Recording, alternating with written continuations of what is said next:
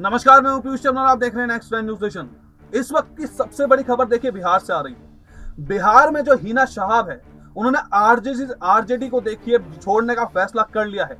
देखिए, हीना शहाब कौन है, मैं आपको बता दूँ। तो हीना शहाब शहाबुद्दीन, देखिए, जो सांसद थे, देखिए, बिहार के मुसलमानों के कट्टर नेता माने जाते हैं, देखिए, जिनकी अब मृत्यु हो चुकी है। तो उनकी जो बीवी है, हीना शहाब, देखिए, उन्होंने आरजेडी पर, देखिए, बहुत बड़ा बयान किया है। उन्होंने साफ़ साफ़ आरजेडी को कह दिया है कि, देखिए, आरजेडी जो पार्टी है, जिसने शाहबुद्दीन ने देखिए इतनी अपनी कड़ी मेहनत से जिस पार्टी को खड़ा किया, मुसलमानों के जितने भी पूरे के पूरे बिहार के वोटों को उन्होंने खुद चलाया था। उसको देखिए, उस आरजेडी ने हमसे मुँह मोड़ लिया है। और देखिए, बिल्कुल कुछ ही समय में, यानी कि आप देखिए, दो चार दिन के अंदर ही हीना साहब का देखिए आरजेडी से विलय हो सकता है। हीना साहब ने पहले ही देखिए जब आपको मैं बता दू, अपने दर्शकों को मैं बताना चाहता हूँ कि जब इफ्तार पार्टी का वक्त चल रहा था, आप देखिए तो आप तो इसमें हीना साहब को खास करके देखिए, जो मुस्लिम समुदाय को बिहार में जो रिप्रेजेंट करती है जिससे पूरा का पूरा मुस्लिम समाज, समुदाय जो बिहार का, उनको रिप्रेजेंट करता है। तो इसलिए आप देखिए कि इफ्तार पार्टीज़ में उनको नहीं बुलाना। और सबसे बड़ी आप बात है, आप देखिए कि हिना साहब का ये बयान जब आया है, आप देखिए, आरजेडी ने, आरजेडी को देखिए, हिना साहब पहले बोल चुकी थी कि हमें राज्यसभा सीट चाहिए। अब आरजेडी ने देखिए, उनके जगह दूसरे व्यक्ति को राज्यसभा सीट दे दी। तो इसलिए आप देखिए कि हिना साहब ने आरजेडी छोड़ने का मन बना लिया है। इसको लेकर आप देखिए कि बिहार की सियासत में देखिए बड़ी हलचल मच गई है, क्योंकि आप देखिए, बिहार का जो मुसलमान है, वो शाहबुद्दीन से देखिए ताजुब रखता है, आप देखिए। जो शाहबुद्दीन थे, देखिए, उन्होंने मुसलमान समाज के लिए काफ़ी बड़े काम करते सांसद भी थे, विधायक भी रहे हैं। तो लेकिन इसको लेकर आप देखिए कि तेजस्वी यादव, लालू यादव बड़े ही देखिए अचंबे में इस वक्त। और लगातार देखिए कि हिना शाह को मीटिंग करने के लिए बुलाया जा रहा है। लेकिन हीना शाह जो है, अब आरजेडी छोड़ने का मन बना चुकी है। सबसे बड़ी खबर आ रही है बिहार से।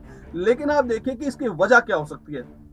पहली बात तो वजह आपको, मगर मैं बताना चाहूँ अपने दर्शकों को कि यहाँ पे मुसलमानों को आप देखिए आरजेडी ने जिस तरह से बेकदरी करी है मुसलमानों की, हिना शाह ने बोला था पहले भी जब इफ्तार पार्टीज़ हो रही थी, और हिना शाह के परिवार को देखिए, किसी तरह आरजेडी की जो मेन पॉलिटिक्स है, उससे दूर कर देना भी एक वजह हो सकती है। और साथ में ही सबसे बड़ी अगर वजह मैं आपको बताना चाहूँ तो देखिए, राज्यसभा सीट सीट हीना शहाब को ना मिलना यह बहुत बड़ी वजह हो सकती है आरजेडी के लिए।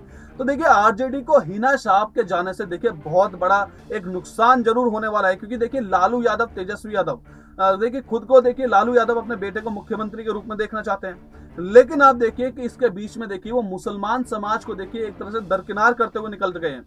क्योंकि आप देखिए, इफ्तार पार्टीज़ में भी देखिए, इतने बड़े मुस्लिम समुदाय को ना बुलाना, यानी कि हीना शाह को ना बुलाना, उनके परिवार को ना बुलाना, ये बहुत बड़ा नुकसान हो सकता है आरजेडी के लिए, लालू प्रसाद यादव के लिए। तो बिल्कुल आप देख सकते हैं इसमें कि हीना शहाब जो है वो खुद कहती हुई ऐसे आप सुन सुन सकते हैं उनको कि जो मुसलमान समुदाय है, हमसे बहुत रिलेट करता है। उन्होंने बोला कि शाहबुद्दीन ने देखिए मुस्लिम समाज के लिए, बिहार के मुस्लिम समाज के लिए बहुत कुछ करा है। अब इसको देखते हुए देखिए कि उन्हें राज्यसभा सीट मिलनी चाहिए थी, लेकिन अब जो है आरजेडी ने उनको दरकिनार कर दूसरे कैंडिडेट को राज्यसभा भेज दिया है। लेकिन अब देखिए कि इसमें हिना शाह ने एक बड़ा फैसला ले लिया है और वो आरजेडी कभी भी छोड़ सकती है।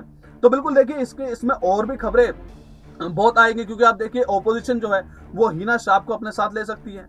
ऐसा भी हो सकता है कि देखिए, जेडीयू के साथ चले जाए, क्योंकि जेडीयू भी देखिए, हिना शाहब को, यानी कि शाहबुद्दीन को पहले से अपने पास लाने की पुरजोर कोशिश कर चुकी है।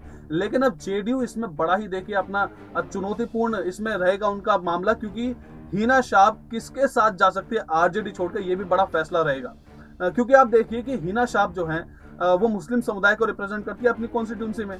अब आप देखिए कि उनका वोट जो हीना शाह का वोट है, जो शाहबुद्दीन का वोट बैंक है, पूरा का पूरा उसको फ़ायदा जेडीयू को होगा। क्योंकि आप देखिए, आरजेडी के जो लालू यादव है, तेजस्वी यादव है, वो अपने ही पॉलिटिक्स में बिज़ी हैं।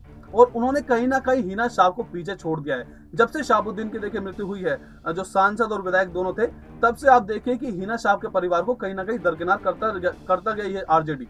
तो इसलिए अब देखिए कि इतना सब कुछ उनके साथ हो चुका था तो उसकी वजह से आप आज हिना शाह को इतना बड़ा फैसला लेना पड़ा है। अब देखिए कि इसके पीछे और भी कोई वजह हो सकती है, लेकिन सबसे बड़ी वजह तो राज्यसभा राज्यसभा की सीट ना मिलना है।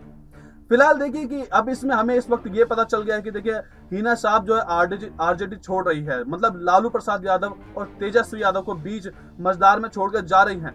अब इसमें आगे क्या होता है, तेजस्वी यादव क्या करेंगे उनके लिए? लालू प्रसाद यादव हीना शाह को मनाने के लिए ऐसा क्या हथकंडे अपना सकते हैं? ये जानने के लिए बने रहिए नेक्स्ट टाइम न्यूज़ नेशन के साथ।